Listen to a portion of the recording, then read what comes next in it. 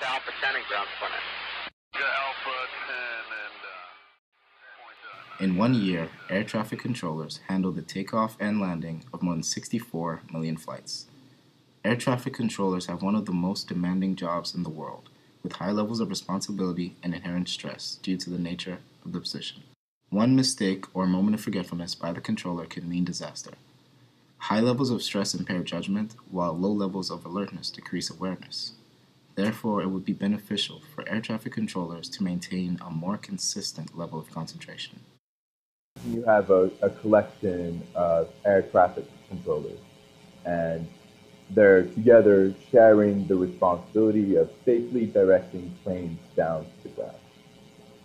At any given moment, of course, one workload or one uh, air traffic controller may be under a state of extremely high cognitive workload, whereas another has very low cognitive workload. Uh, could be there might be other ways to figure this out, uh, their task load, but in reality, people have different abilities to deal with different amounts of information. So what you'd really want is a method of knowing the individual cognitive workload of each one of these air traffic controllers, and you delegate the task based on everybody's workload so that everyone has the optimal amount. We want a way to monitor someone's cognitive workload, or in other words, their concentration level, and use this information to improve their life. Our goal is to accomplish both of these. We aim to design and build a device that measures your cognitive workload using near infrared spectroscopy, as well as to develop software that uses these measurements to modify your interaction with the environment.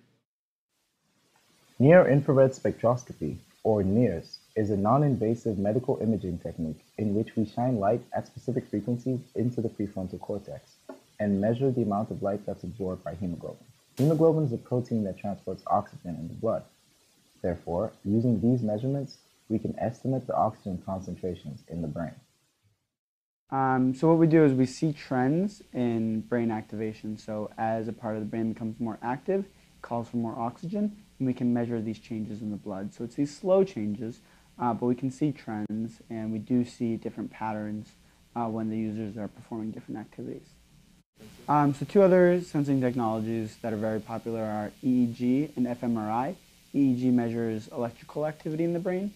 Um, so you see these, these fast changes sort of when the user responds to a stimulus. Um, but it's sort of a big setup. There's a lot of gel involved, uh, a lot of time to set up. Um, fMRI, the user has to stay inside a big metal tube. It's very expensive. Uh, we're measuring the same signal that the fMRI is, but in, we're only getting one part of the brain.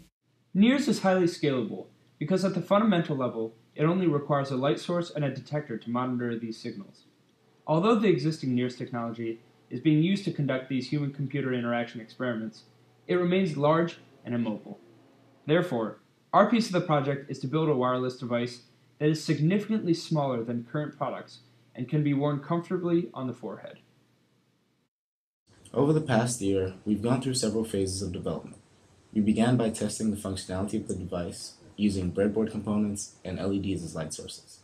After successful demonstration of our initial phase, we proceeded to test on a protoboard and then on a printed circuit board using red and infrared lasers.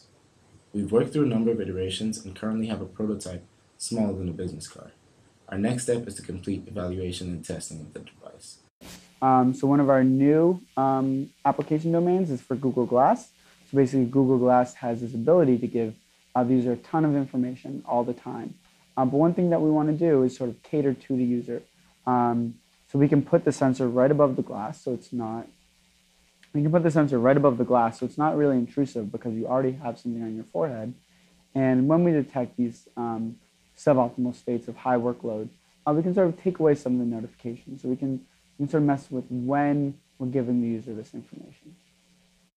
Um, so we built an engine where uh, the user is guiding multiple UAVs, unmanned aerial vehicles, and they're sort of doing an air traffic control task. They're guiding uh, these, these vehicles around obstacles to targets.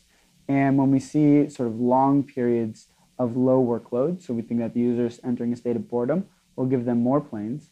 And when we see that they have uh, long periods of high workload, so they're sort of stressed, they're, they're doing too much, they, they might reach a state of anxiety, uh, we'll remove some of the planes. And from that, we notice that we can keep them in sort of an optimal work, work zone, and we see that they um, have less errors and they notice when planes are about to hit obstacles um, more often. Our hope is that eventually the signal that they get from their teeny tiny device is going to be as good as this, the, the signal that we get from our large, bulky, stationary device. And I think at that point we can really put together a good case to Google to say like, hey, buy us for half a billion dollars and integrate this with.